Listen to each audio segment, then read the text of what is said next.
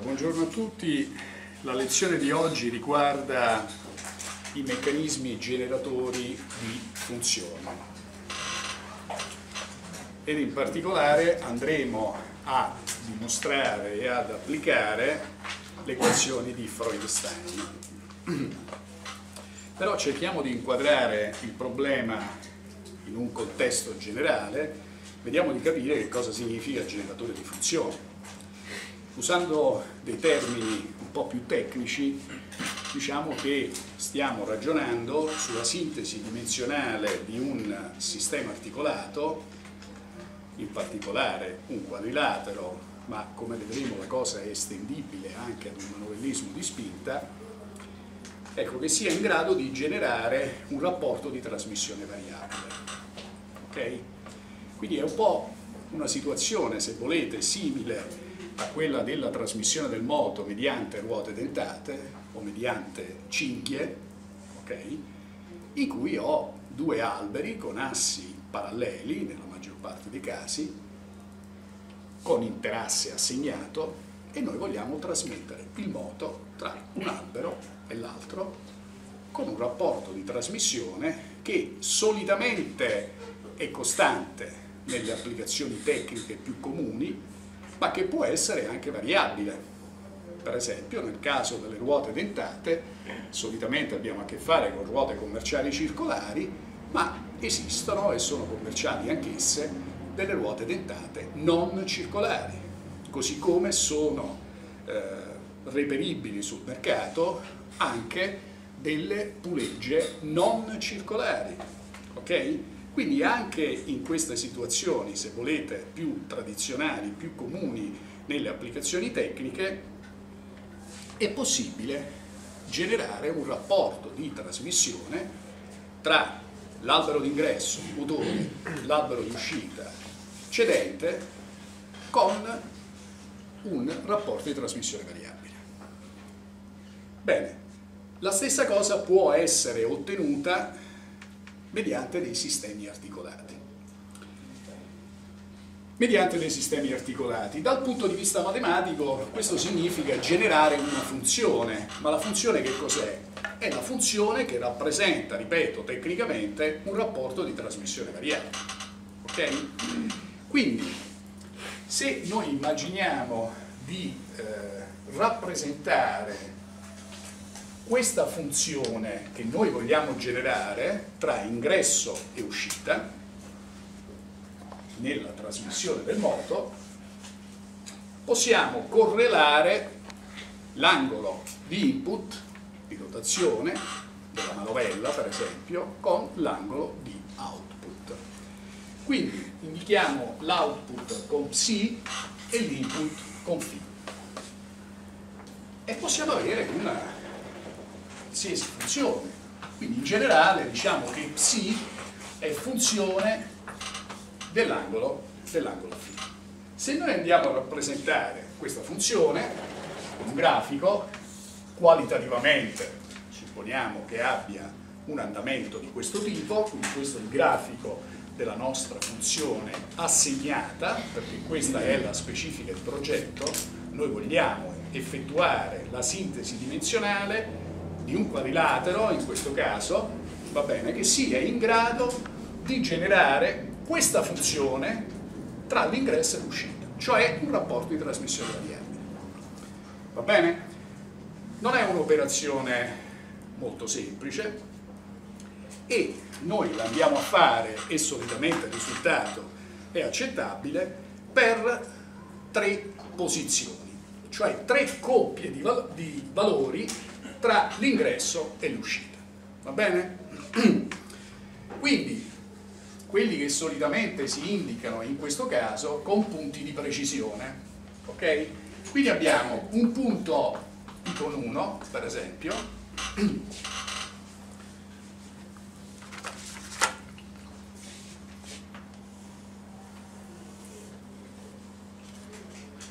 un punto P con 2 di precisione che chiaramente ha come coordinate un φ con 2 psi con 2 psi con 1 φ con 1 e un terzo punto di precisione Φ con 3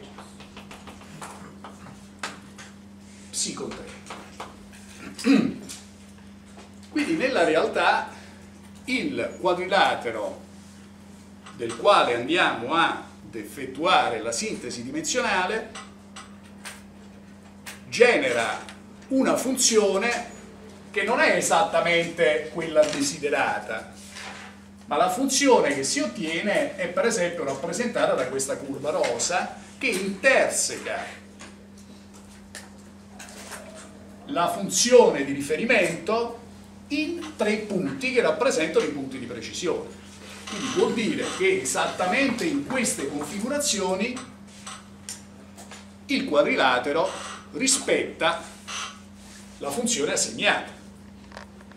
Ma se vado a considerare una configurazione diversa di questo quadrilatero, io ho un errore che consiste nel discostamento tra la curva rosa, quella reale, rispetto alla curva assegnata come specifica di progetto. Bene, questo errore che consiste in questo scostamento si chiama in questo caso per i meccanismi errore strutturale. Va bene? Quindi questo è, ripeto, l'errore strutturale. E i punti P1, P2 e P3 sono i punti di precisione, dove l'errore strutturale è uguale a 0, perché vado a beccare con esattezza le coppie di valori che corrispondono alla funzione assegnata. Stiamo ragionando su tre punti di precisione, che è il caso più frequente nelle applicazioni. Più di rado può capitare di ragionare su soltanto due punti di precisione. Come vedremo in tal caso otteniamo infinite alla 1 soluzioni, se avessimo un solo punto di precisione avremmo infinite alla 2 soluzioni. Se abbiamo, ripeto, come nel caso più frequente, tre punti di precisione, la soluzione è unica. Ok? Ma noi potremmo desiderare anche qualcos'altro, cioè una maggiore accuratezza, cioè una maggiore fedeltà rispetto alla funzione assegnata e quindi potremmo desiderare più di tre punti di precisione. Allora in quel caso il sistema diventa sopravincolato, perché se ho una soluzione con tre punti, tre punti di precisione, se ne considero 4, 5 o 10, eh, naturalmente io vado a vincolare ulteriormente il sistema dal punto di vista, punto di vista matematico. Questo può essere fatto lo stesso, però naturalmente possiamo ragionare eh, con dei metodi di ottimizzazione che sono finalizzati alla minimizzazione dell'errore strutturale. Ok? Quindi non riusciamo esattamente a riprodurre il rapporto di trasmissione desiderato assegnato per il, il tramite degli angoli di ingresso e di uscita, ma possiamo avvicinarci a questo minimizzando l'errore strutturale. Questo è il discorso impostato un po' in generale. Nella fattispecie, come già anticipato, noi andiamo a ragionare su tre punti di precisione. Quindi in realtà noi abbiamo a che fare con un problema di questo tipo. abbiamo assegnato per esempio il punto di precisione P1 per il tramite delle sue coordinate. Quindi io conosco che cosa?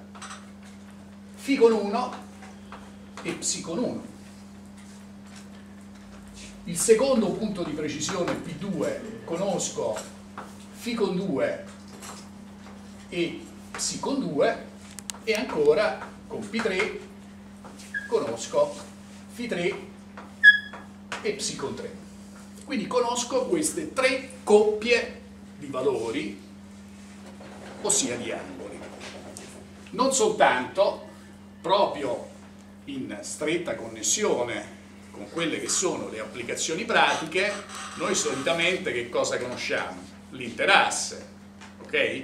Cioè quando noi vogliamo trasmettere il moto tra due alberi paralleli, ok? Che può essere un motore o, non so, una pompa o comunque un nastro trasportatore, un, un utilizzatore qualsiasi, eh, noi solitamente conosciamo l'interasse come input geometrico, poi oltre all'interasse vogliamo assegnare un certo rapporto di trasmissione per fare il giusto accoppiamento motore-carico.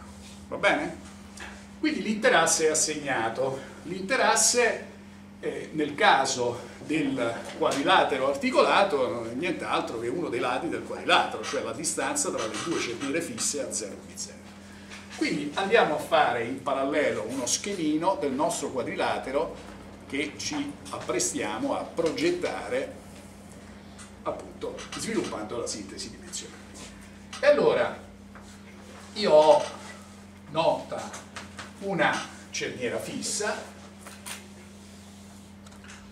ho un'altra cerniera fissa, quindi io voglio trasmettere il moto tra questi due assi paralleli che sono perpendicolari al piano della lavagna, quindi questo è A con 0 e questo è B con 0.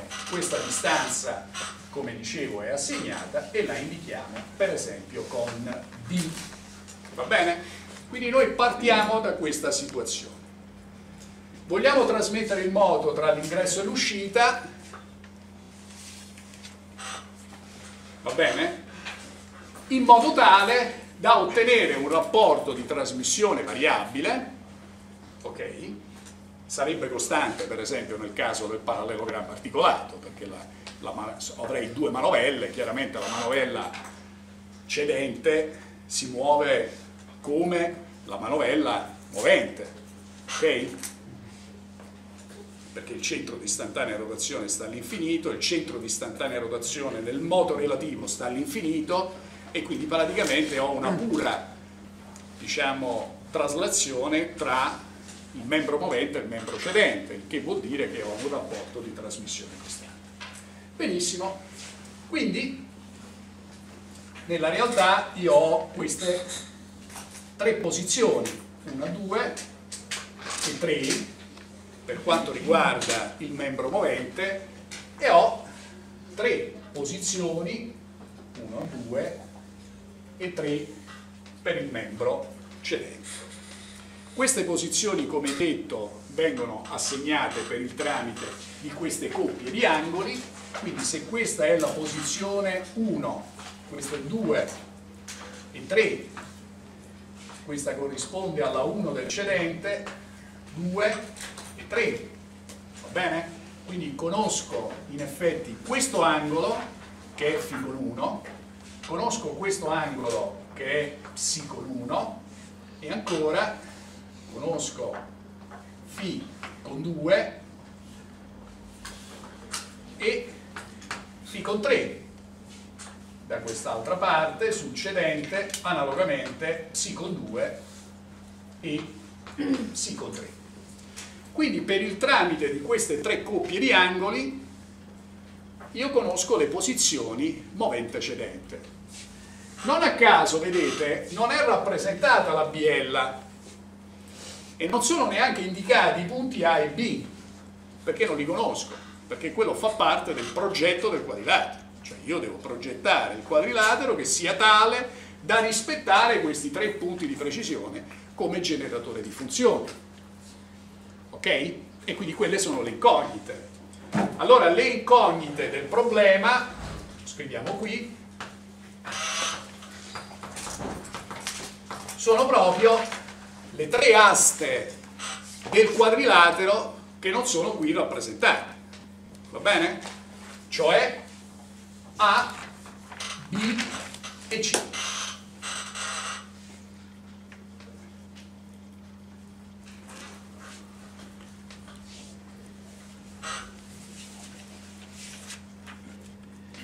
Bene, allora passiamo alla dimostrazione delle equazioni di Freudenstein.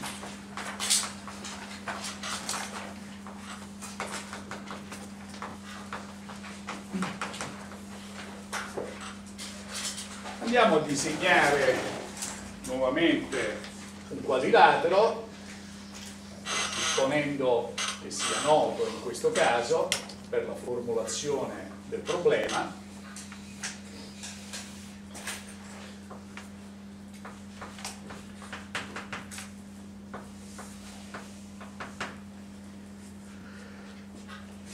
Chiamo quest'asta con A, B, C e D.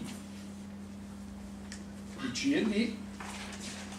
L'angolo di input in generale è φ, l'angolo di output in generale è questo, cioè psi. Ok? Quindi il legame è tra ingresso e uscita. E riusciamo a garantirlo con questo ragionamento soltanto per tre punti di precisione. Va bene? Allora andiamo a fare questo ragionamento. Allora vado a fare la parallela a B passante per A0, questo è A, questo è B, questo è B con 0, quindi la parallela a B passante per A0 e la parallela ad A, cioè a 0A, passante per B, in questo modo. Va bene? Fino ad individuare questo punto C quindi in effetti A0CBA è un parallelogramma per come è stato, è stato costruito. Il punto C lo vado a congiungere con B con 0 e quindi ottengo questa figura. Indichiamo questo angolo con alfa, ok? Eh, questo lato, cioè CB0 lo indichiamo con F, naturalmente CB per costruzione è uguale ad A e A0C per costruzione è uguale a B. Va bene?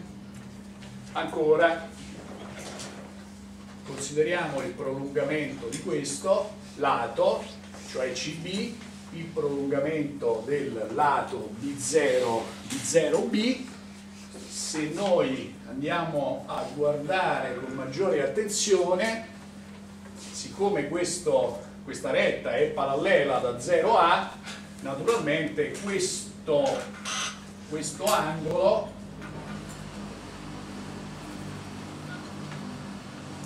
questo angolo è proprio uguale a φ. Bene?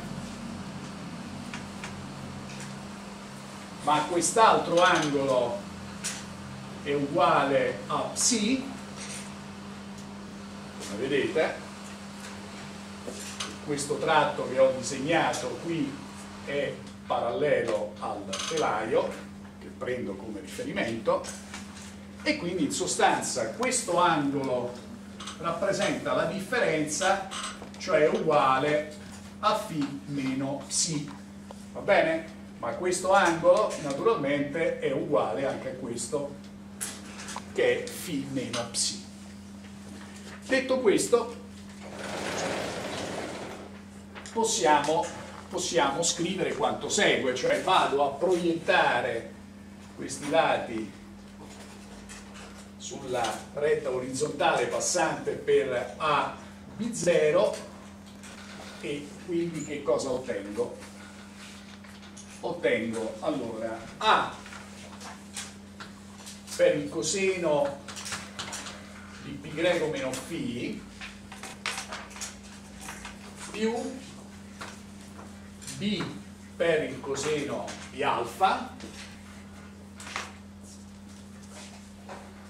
più c per il coseno di psi e questo è uguale naturalmente all'interasse all'interasse d ok?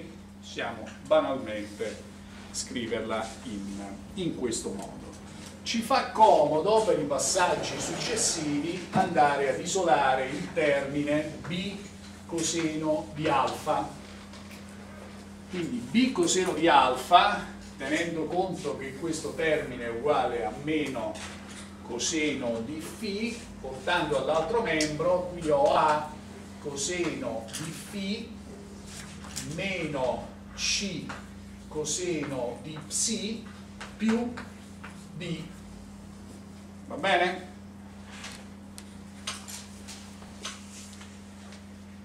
Adesso andiamo a ragionare, a ragionare su questo lato f, di lunghezza f. Mi riferisco al lato CB0. Questo lo posso considerare come un lato del triangolo A0 CB con 0, così come un lato del triangolo CB0B. E quindi posso esprimerlo in funzione in relazione al primo e al secondo triangolo, semplicemente applicando il teorema di Carnot. Va bene? Quindi posso scrivere cosa? f quadro, con riferimento al primo triangolo citato prima, è uguale a b quadro più d quadro meno 2bd per il coseno di alfa, teorema di Carnot riapplico il teorema di Carnot con riferimento allo stesso lato, ma con riferimento all'altro triangolo, ripeto CB0B, quindi posso scrivere che f quadro è anche uguale a dal quadro più c quadro meno 2ac per il coseno di quell'angolo che è φ meno psi.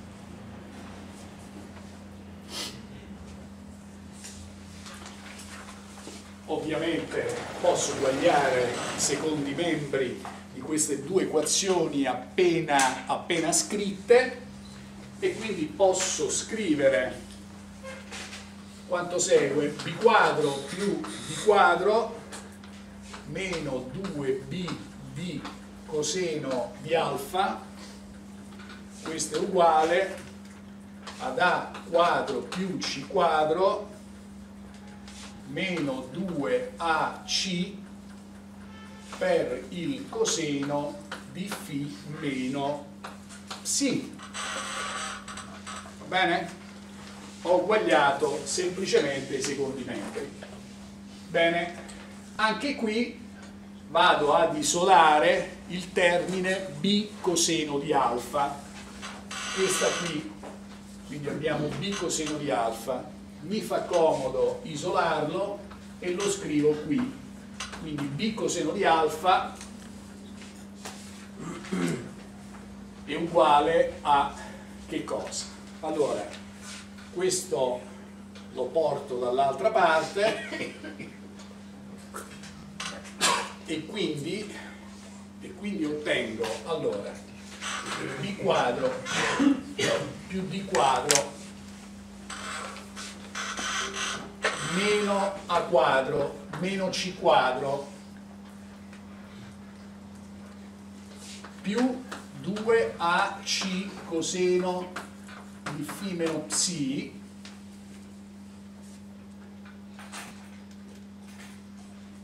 ok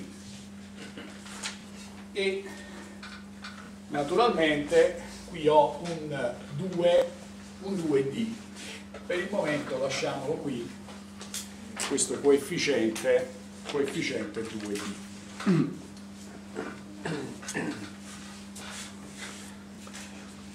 Ok? Vabbè. Allora, siccome noi da queste considerazioni abbiamo ottenuto questo b coseno, coseno di alfa che è uguale a questo, a questo termine, e allora non ci rimane che andare ad eguagliare queste due espressioni. Scrivo qui, quindi A coseno di φ meno C coseno di psi più D, che è il secondo membro di questa equazione, deve essere uguale al secondo membro di questa equazione diviso 2D. Quindi qui abbiamo allora b quadro più d quadro meno a quadro meno c quadro più 2ac coseno di φ meno psi tutto diviso, abbiamo detto, 2D. Ok?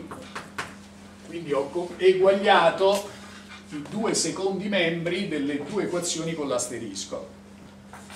Qui naturalmente ho portato 2D al denominatore.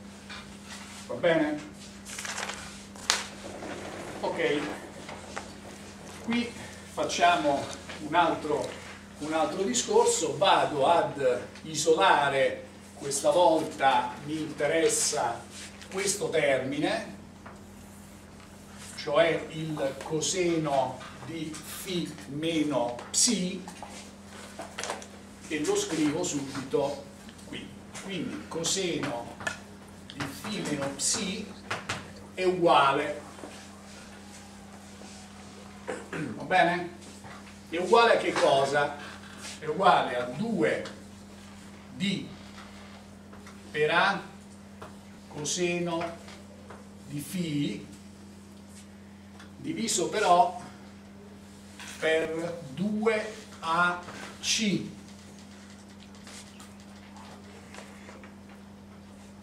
ancora qui ho meno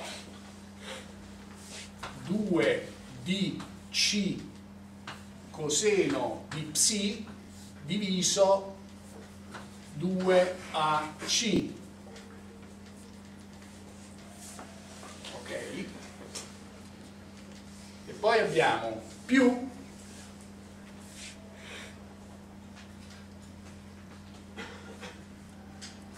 più 2d al quadrato meno d quadro meno d quadro più a quadro più c quadro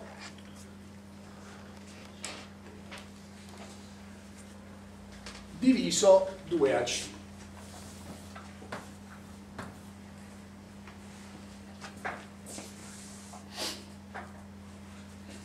Va bene? Andiamo a fare delle semplificazioni. 2, 2, A, A, 2, 2, C, C. Va bene? Poi qui guardate abbiamo 2 di quadro meno di quadro va bene? E naturalmente questo è uguale a più di quadro, ok? Bene, riscriviamola in maniera più compatta e ordinata, quindi abbiamo d su c coseno di φ meno d su a coseno di psi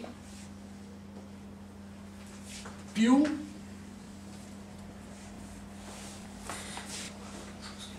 a quadro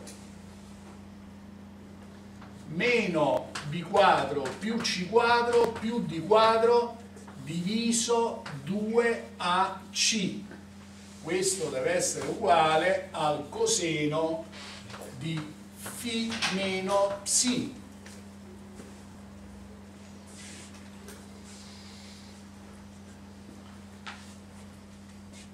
Ok? Bene, andiamo ora ad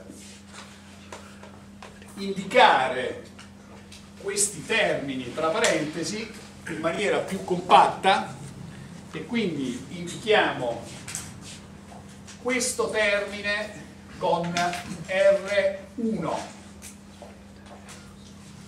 quest'altro termine con R2 e quest'altro ancora con R3.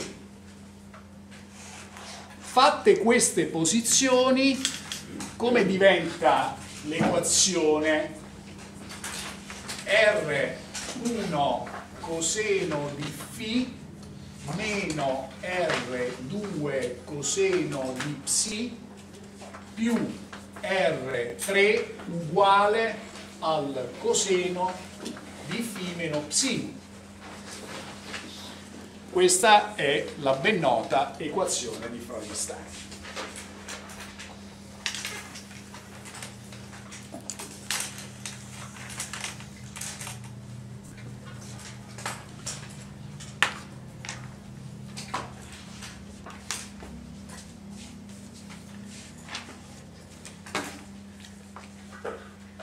Bene, questo discorso è molto interessante, no?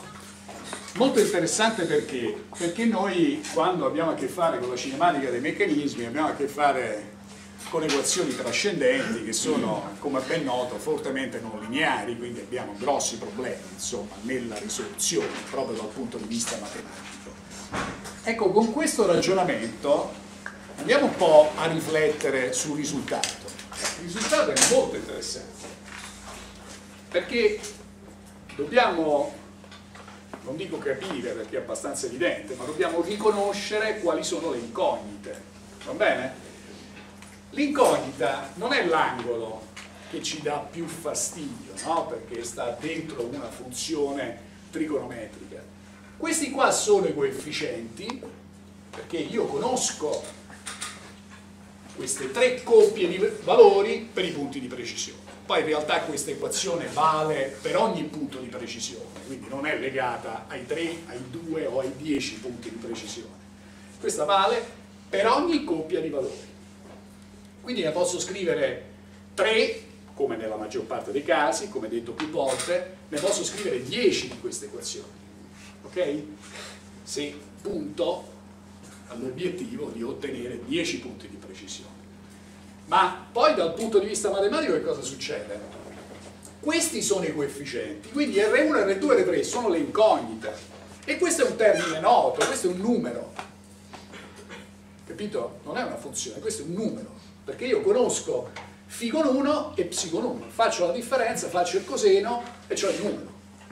Quindi le incognite dove stanno? Le incognite sono R1, R2, R3 che a loro volta sono collegate a cosa?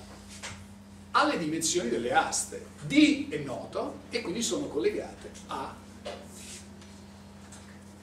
ad A, B e C, cioè le tre incognite del problema. Quindi se io ne scrivo tre di queste equazioni, ho un sistema di tre equazioni e tre incognite, cioè vado a pareggiare il numero di equazioni algebriche, perché questa è un'equazione algebrica, non è trigonometrica, è un'equazione algebrica, perché questi sono i coefficienti e queste altre sono le incognite.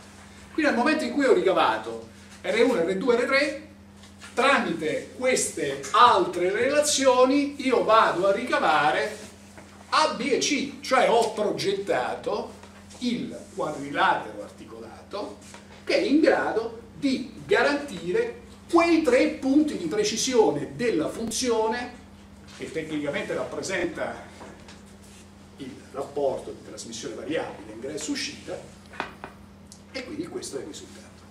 Quindi il grande contributo fornito dal professore Freudenstein è, è stato questo intuito geniale di trasformare diciamo, un problema fortemente non lineare in una problema lineare, questo è un sistema di equazione algebrica, va bene? E quindi naturalmente valgono le regole ben note dell'algebra lineare. Quindi se io ho tre equazioni, tre incognite, e il determinante della matrice dei coefficienti naturalmente è uguale a 3, io ottengo una soluzione. Cioè una sola soluzione dei valori A, B e C del quadrilatero. E quindi sono riuscito a perché prima vi dicevo che potrei ottenere per due punti di precisione infinite alla 1 soluzioni? Eh, perché se io ho soltanto due punti di precisione, io posso scrivere in due sole di queste equazioni, perché conosco soltanto due coppie di valori, φ e ψ. Ma le incognite quante sono? Sono sempre tre.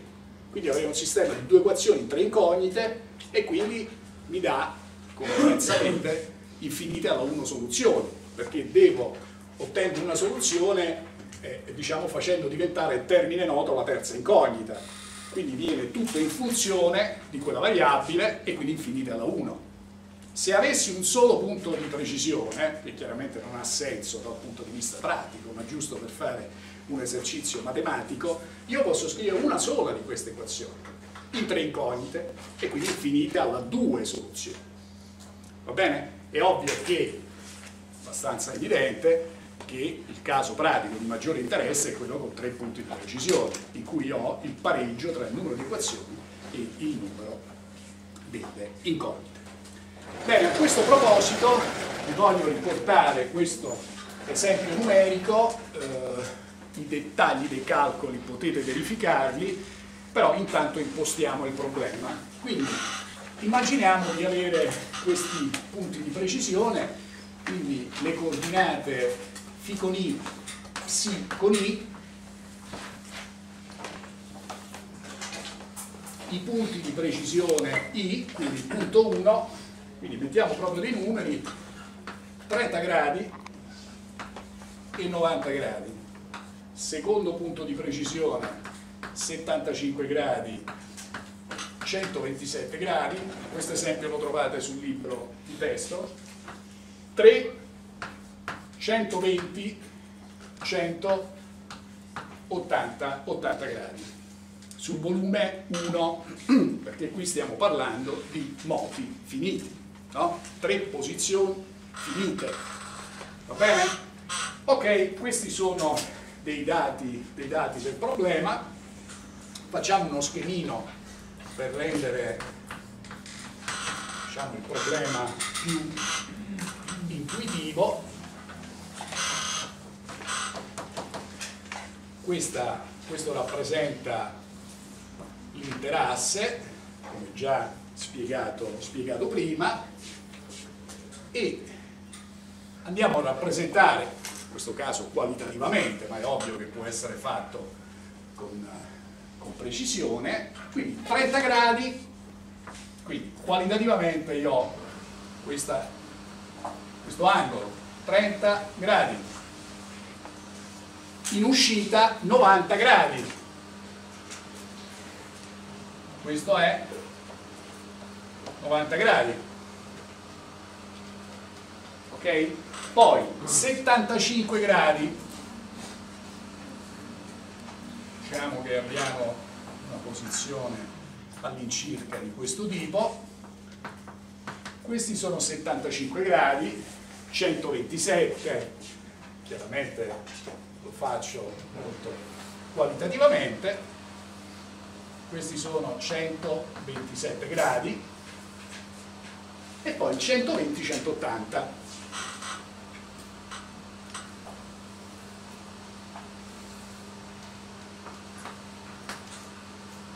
120 e naturalmente qui abbiamo 180 gradi questa è la terza posizione del, dell'output come si risolve il problema?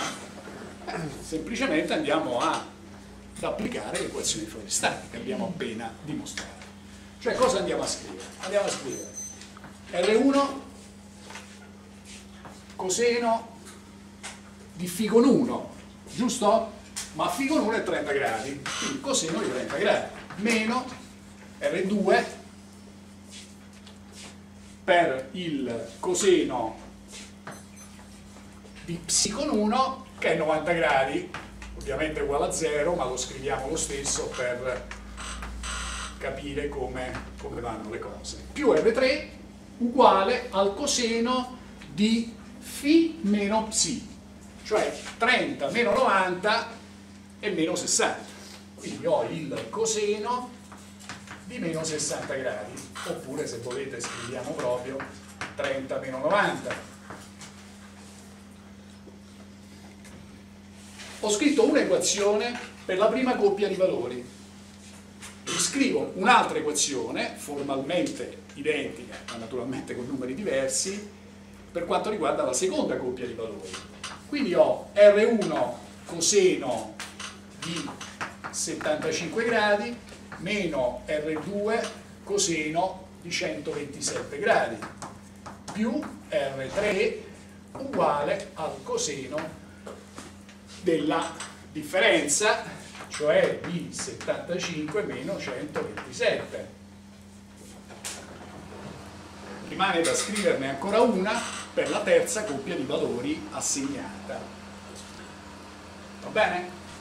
Allora R1 coseno di 120 gradi meno R2 coseno di 180 gradi, anche qui lo scrivo per completezza, coseno di 120 meno 180.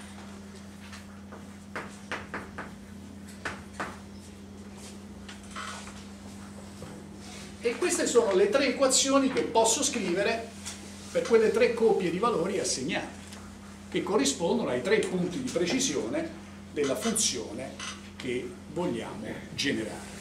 Ok? E vediamo che è un sistema di equazioni algebriche, tre equazioni, tre incognite. Va bene? Allora, naturalmente, questo è uguale a 0, eh, coseno di 180 è meno 1, quindi questo qui diventa positivo. Io vi riporto anche dei numeri che potete naturalmente, naturalmente verificare, banalmente con la calcolatrice. Quindi abbiamo 08660, che è il coseno di 30 gradi, R1, questo ha lo scopo di porre ulteriormente in evidenza che l'incognita non sta nella funzione trigonometrica, ma sta naturalmente nelle, nelle dimensioni del quadrilatero per il tramite dei coefficienti R1 e R2 R3 più R3 perché abbiamo detto che R2 in questo caso è uguale a 0 uguale al coseno della, della differenza quindi il coseno di meno 60 che comunque è positivo quindi 0,5 questa è la prima equazione. Poi abbiamo 0,5 2, 5, 8, 8, R1 più 0,6018 R2 più R3 che è uguale a 0,6157 va bene? sono semplicemente i coseni di 75 che comunque è positivo, di 127 che è negativo, quindi scompare questo meno, e poi qui abbiamo il coseno di questa differenza, quindi di un numero negativo che comunque è positivo. Poi abbiamo un R1 coseno di 120 che naturalmente è negativo, quindi 0,5 R1 più R2 più R3 uguale a 0,5. Quindi in questo caso specifico il sistema costituito dalle tre equazioni di Freudenstein per le tre coppie di valori assegnati si materializza in questo. Va bene? E le incognite ovviamente sono R1, R2 ed R3. È un sistema algebrico lineare, insomma si può dimostrare che determinate analisi efficienti è diverso da zero si può risolvere come volete, per esempio tramite la regola del Grammar. Va bene? Allora io vi do i risultati che sono riportati anche sul libro, potete verificarlo sviluppando naturalmente il sistema.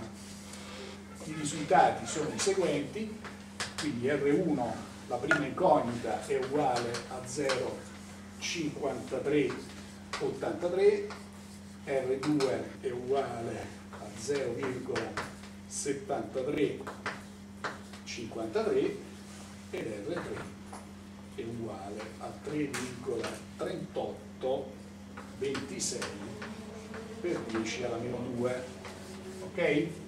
quindi la soluzione di questo sistema algebrico lineare in tre equazioni e tre incognite è la seguente chiaramente il problema non è ancora terminato perché noi vogliamo la dimensione delle aste, perché vogliamo disegnare il quadrilatero articolato. Dove stanno le dimensioni delle aste? Stanno dentro R1, R2, R3, va bene? E quindi possiamo, dalle posizioni fatte, vedete noi abbiamo che R1 è uguale a D su C, ma D è assegnato, perché è l'interasse, e quindi l'incognita è solo a C. per cui da quella ricavo subito la C e quindi posso scrivere che C è uguale che C è uguale a D su R1 C uguale a D su R1 e quindi è uguale a 1,8579. Stiamo assumendo, abbiamo assunto D uguale ad 1 unitario l'interasse eh, per semplificare, semplificare i calcoli. Quindi abbiamo ricavato la C, andiamo a ricavare le altre due lunghezze delle altre due aste. Quindi abbiamo poi che A è uguale dall'altra posizione, abbiamo che è uguale a D su R2, D su R2, vi do anche il valore numerico 1.361 che vi prego di verificare. E poi abbiamo l'ultima, cioè la B, che dobbiamo estrapolare da questa, cioè da R3, che abbiamo detto che R3 è uguale a tutte queste Va bene? Dobbiamo tirare fuori la B perché la, la A e la C, la D è assegnata, la A e la C l'abbiamo appena ricavata. Ok? Quindi rimane come unica incognita solo la B dalla conoscenza della R3 abbiamo ottenuto dalla risoluzione di questo alge eh, sistema algebrico lineare. Vabbè, la formuletta è la seguente, quindi radice quadrata di a quadro più c quadro più d quadro meno 2ac r3 va bene? vi do anche il valore numerico per questo caso particolare che è 2.4760.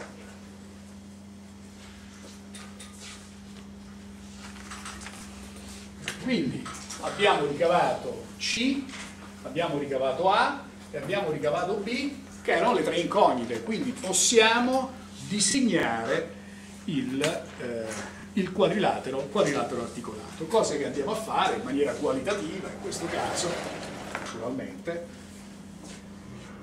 quindi questo è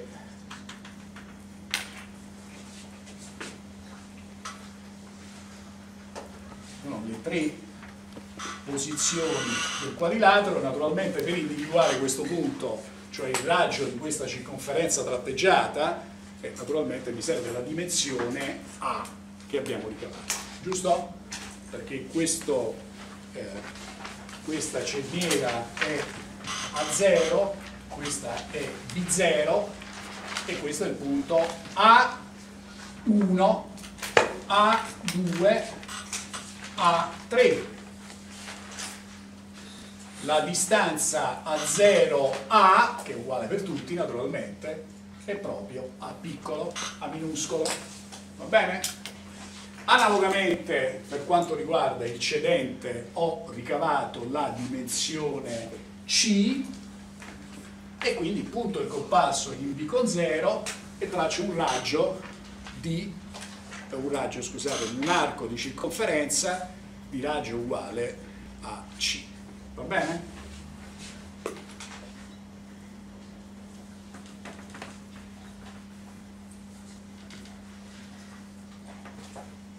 Questo è eh, B con 1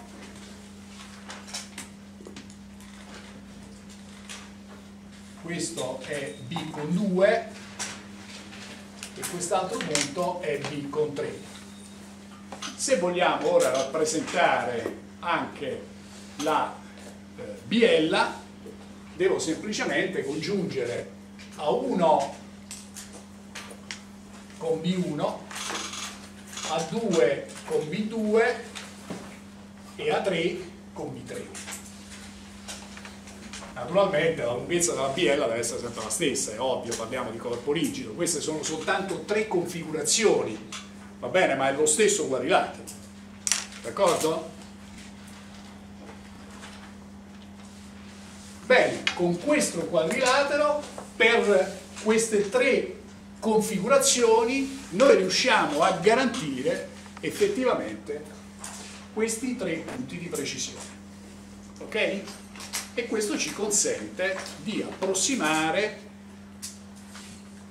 una trasmissione variabile per tre punti. La cosa può essere migliorata, come, come vi ho già accennato, aumentando i punti di precisione, ma capite bene che se io allungo questa lista aumenta il numero di equazioni di Freudenstein che posso scrivere, ma il numero di incoglie sono sempre tre e quindi naturalmente dobbiamo procedere soltanto con dei metodi di ottimizzazione che hanno lo scopo di minimizzare l'errore strutturale. Va bene? Ok? Eh, potremmo in questo caso eh, potremmo in questo caso eh, divertirci anche a verificare che tipo di quadrilatero viene fuori con la regola di Grashoff, no? Allora, che cosa dovremmo fare per applicare la regola di Grashoff? Andiamo a considerare la somma del lato più corto e di quello più lungo, no? Short, long. Quindi il più corto è proprio D perché è uguale a 1. D uguale a 1, A è uguale a 1,36, C 1,85, B 2,47. Quindi il più corto è proprio D, va bene? Quindi scrivo D più il più lungo. Il più lungo è evidente che è B perché è 2,47. Quindi la somma di D più B deve essere confrontata con la somma degli altri due, secondo la regola di Gramsci. Va bene? Ma qui abbiamo 1 più, eh, più 2,47 e quindi viene 3,4760. La somma degli altri due sarebbe A più C, ma A è uguale a 1.3601 più C che è 1.8579, ok? Che dovrebbe essere uguale a 3.2180. Quindi mi accorgo che questo è maggiore, anzi che D più B è ehm, appunto maggiore di A più C. Va bene? D più B è maggiore di A più C. Ok?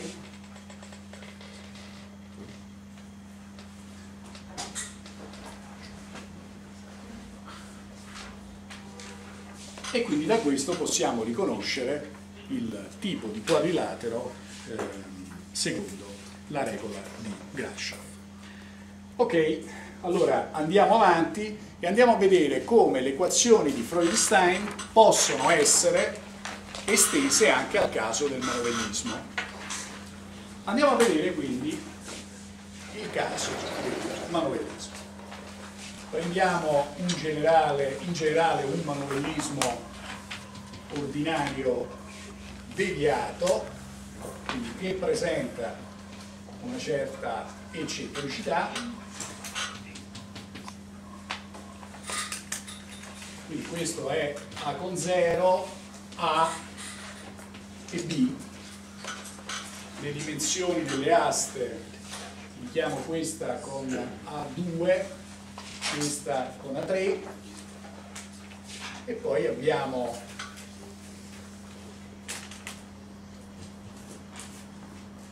diciamo qui un offset che è l'eccentricità che la indico con C e questo sarebbe connesso diciamo alla,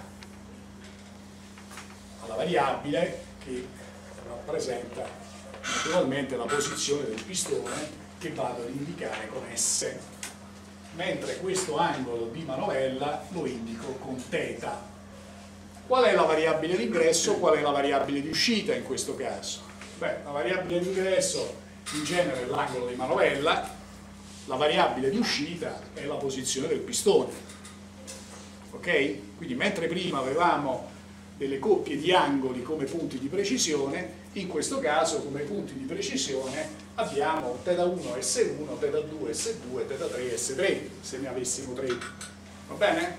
Queste sono le variabili di ingresso uscita.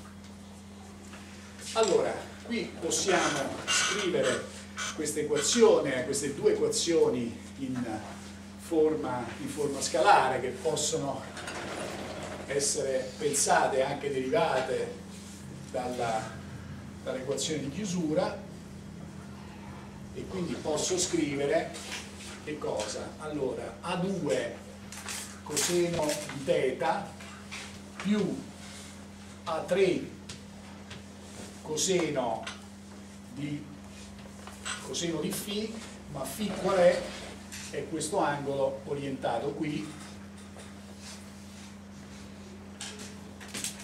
va bene? Che definisce la posizione di questo vettore eh, in termini angolari, quindi coseno, coseno di φ, questo deve essere uguale ehm, come coseno, quindi questo deve essere uguale ad S.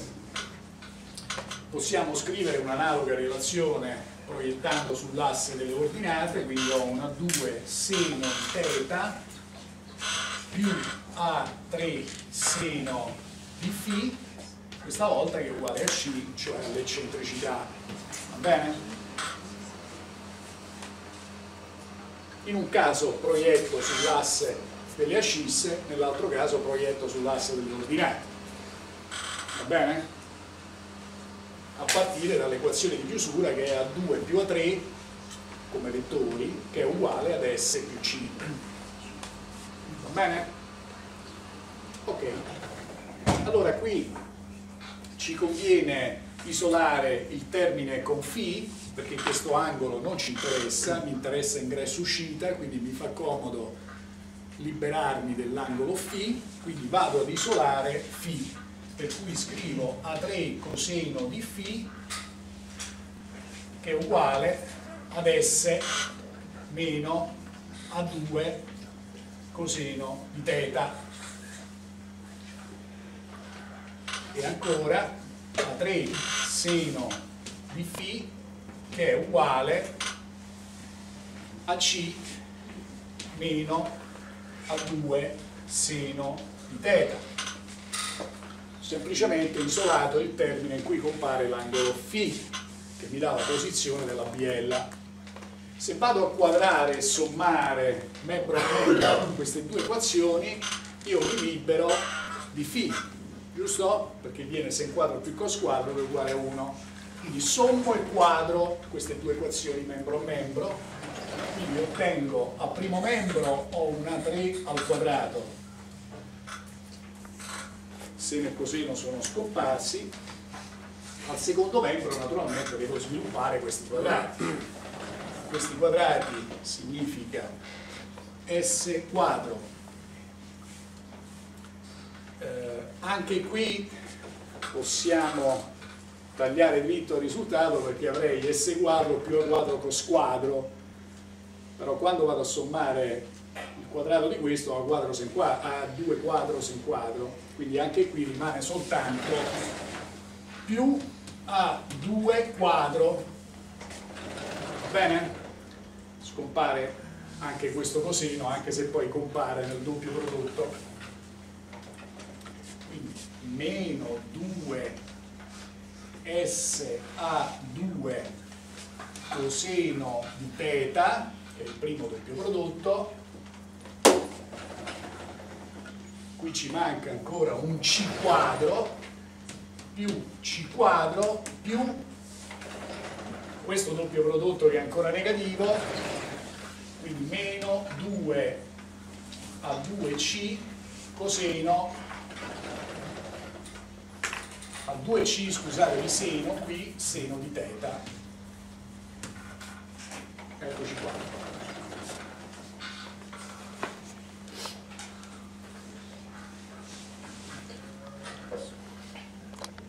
Ho quadrato e sommato membro a membro quadro.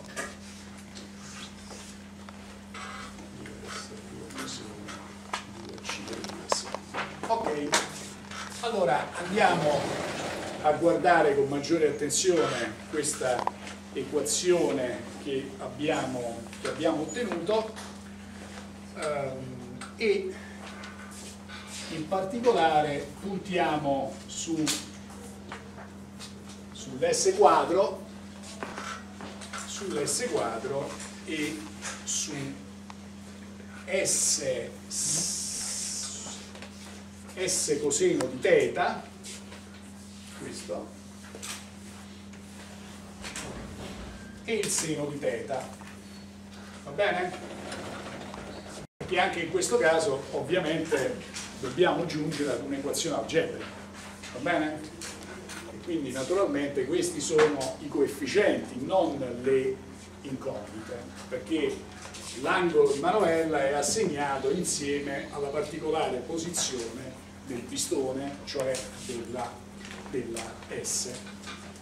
Ok allora se facciamo queste posizioni, quindi R1 è uguale a 2 a 2, R2 è uguale a 2 a 2C ed R3 è uguale ad A2 quadro più C quadro meno A2, A3 scusatemi al quadrato. Questi sono R1 R2 ed, R, ed R3 ok? quindi vedete qui se io vado ad isolare S cos θ rimane 2 a 2 ma 2 a 2 è R1 ok?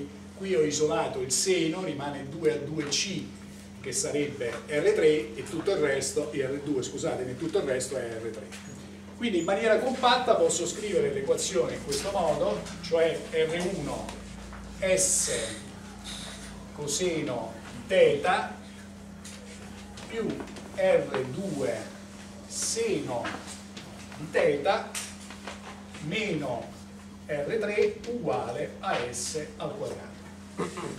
Questa è la generica equazione di Freud-Stein nel caso del manovellismo.